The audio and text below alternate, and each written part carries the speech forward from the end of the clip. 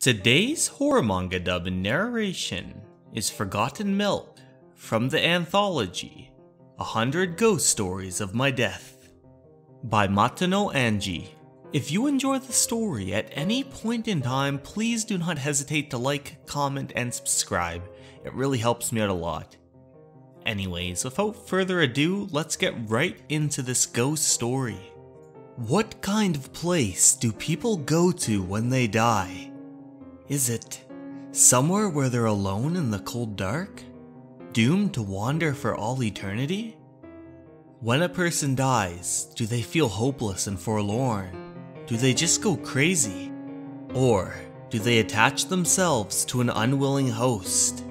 Shuzue, come here for a second, says a ghastly figure causing the lady to scream in terror and run away. In the last case, you would think you'd be safe as long as it didn't chase you down. A man sits at the table as his girlfriend opens up the refrigerator. Hey babe, I thought I told you to go out and buy milk. Uh-huh.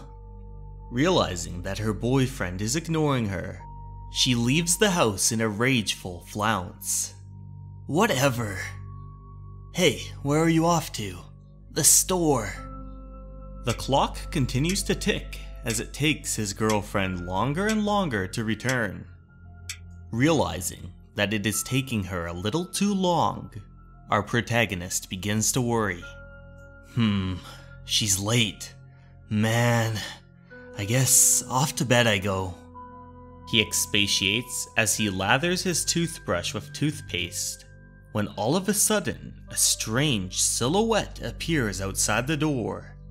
As he brushes his teeth, the figure slowly emerges.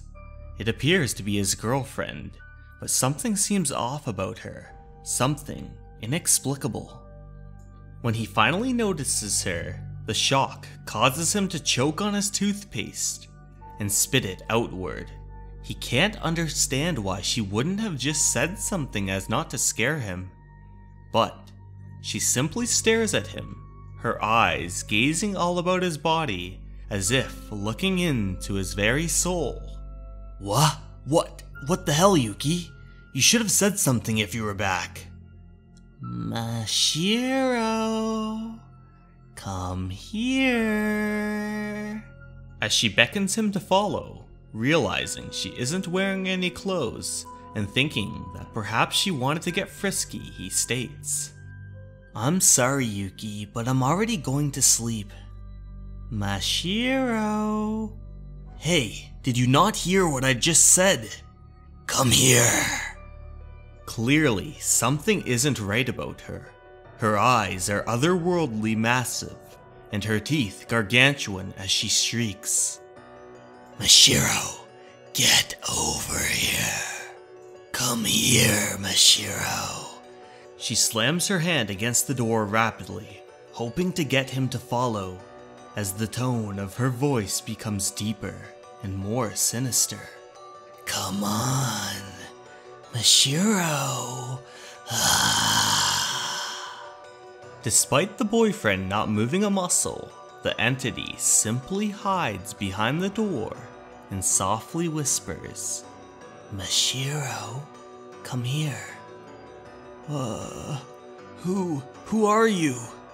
The immeasurable amount of fear causes him to be unable to move, as if he was paralyzed, when he hears a clacking of the door and his girlfriend's voice emerges. I'm home!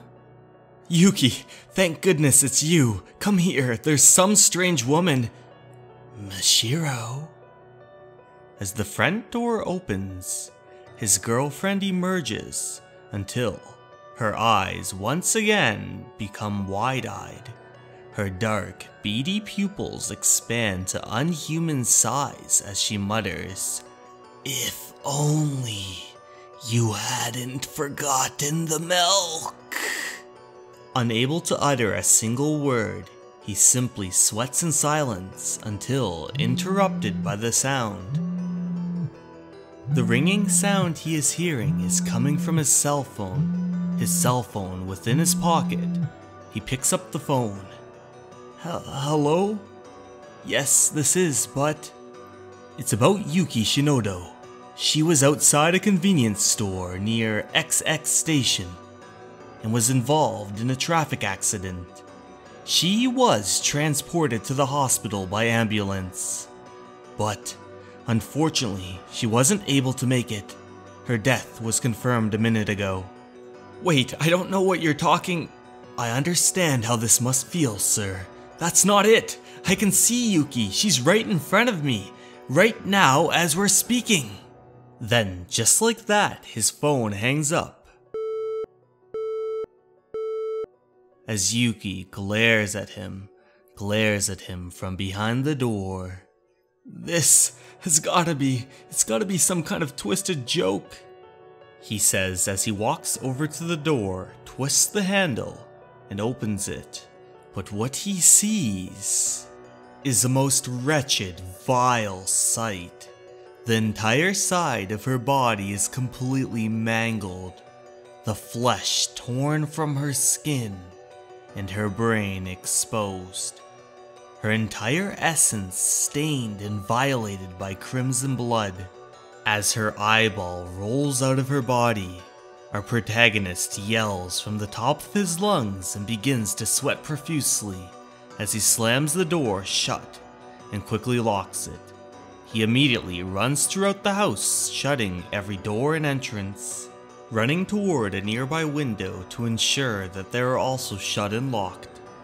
Furthermore, he pushes all the furniture against each and every entrance to ensure that there is no way whatever that entity may be can pursue him. that, that should, it should be good now. There we go. No matter where she tries to come in from, she...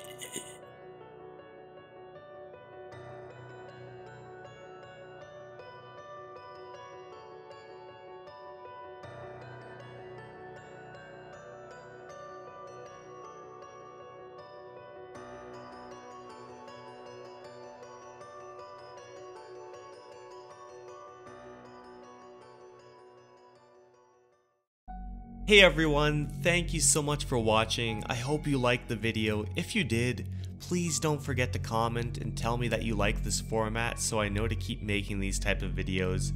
And don't forget to like and share it with your friends. Thank you so much for watching everyone, and remember, you're important and you matter. Have a great night everyone. Goodbye.